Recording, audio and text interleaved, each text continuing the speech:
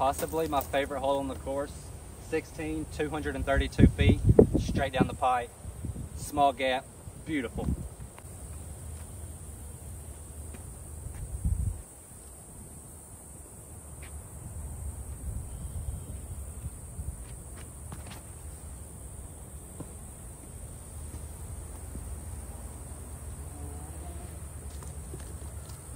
I love this hole, man. So, so pretty.